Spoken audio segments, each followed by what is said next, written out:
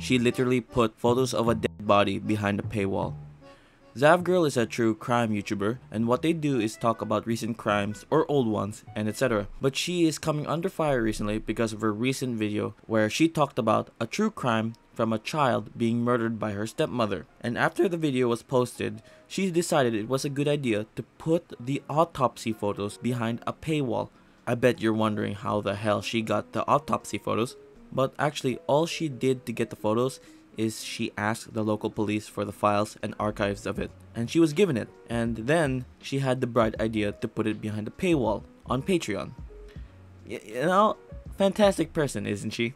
Well, at least there's a little bit of a silver lining. Her Patreon is gone. Thank God for that. And after her Patreon got nuked, this has led to now Zavgirl making an apology video. And it's a terrible one. like, it's actually horrible. Hi, everyone. If you're listening to this, then you likely know about the last few days. I want to apologize to everyone I've hurt, but especially Gannon's family. I've been doing some major soul searching and reflecting. There are many trying to define my motivations, and while I'm not looking for forgiveness or trying to make excuses, I do hope to provide additional context that has not been made clear. It's an alright beginning for an apology, but it's quite obvious she's reading out a script. But you know, it's alright. It just visually looks like she's forced to do an apology, but at least she gets to give out her side properly if she's reading out a script. I have followed the Letecia Stauch case closely, and it was actually during the trial that I made the official records request. And it was in El Paso County, Colorado. I requested all the video, audio, and written records. I made no request for autopsy photos. I wanted all trial records, but my main interests were interviews with Letecia. The autopsy photos just happened to be in the files. Uh, well, there's the first blunder. Well, you know, guys, I didn't mean to get the autopsy photos, but since I have them, I guess I can show it to you guys. But wait, I'll put it behind a little paywall because I do like a little pr- lucky profit. I mean, like, I understand that she may not have intentionally gotten those photos, but you still put them on your Patreon for God's sake. I spent time reviewing what I received so I could provide more info from the trial. I believe many of my images were already shown during the televised trial, and I saw the photos on other public YouTube channels that live streamed the trial and shared the evidence. I didn't think any of the images were new.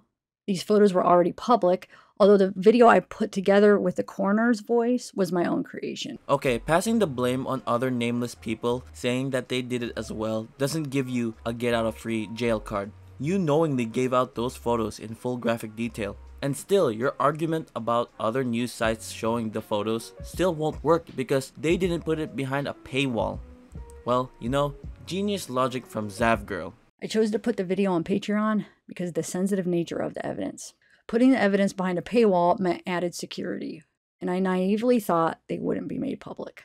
The video I created with a voice from the coroner wasn't meant to be shared outside of Patreon, and I chose not to put the photos on YouTube, a public forum, where the views would have allowed me to make more money and the photos would be seen by more people. I actually hate this person.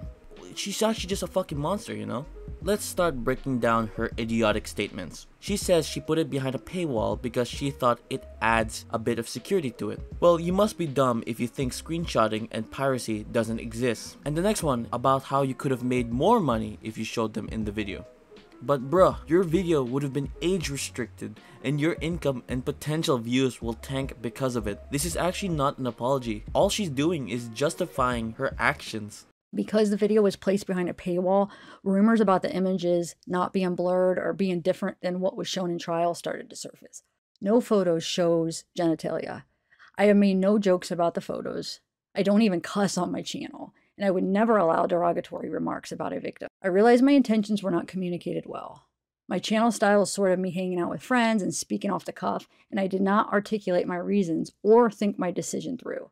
At this time, my Patreon website has been shut down. I am not sharing any of the photos or video anywhere, although you can see the photos published on other popular channels. Nothing you see is from me, nor will ever be. To those who have supported me and followed my channel, and to the true crime community, I'm sorry I let you down. I cannot imagine the pain Gannon's family has gone through. My anger over what happened to Gannon is the reason I started following the case. I'm not this evil, heartless person like many are saying, but I'm also doing a lot of self reflecting and I'm looking into sensitivity training. I did not want to add to the family's loss with anything I said or shared about this case. And it will be a long time before I ever trust myself or my decisions again. To Gannon's family, I have no words that can make this better. No one should have to ever go through what you guys have been through. I am so very sorry for any pain that I have caused you.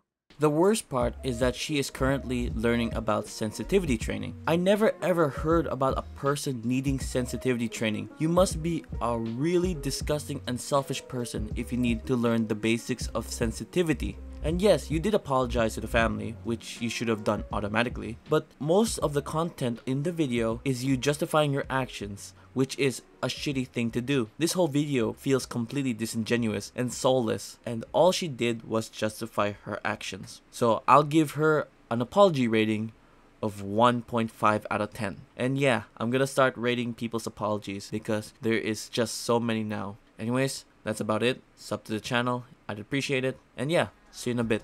Peace. But I'm ugly and I'm proud. Spend my days in the jellyfish fields, trying to fish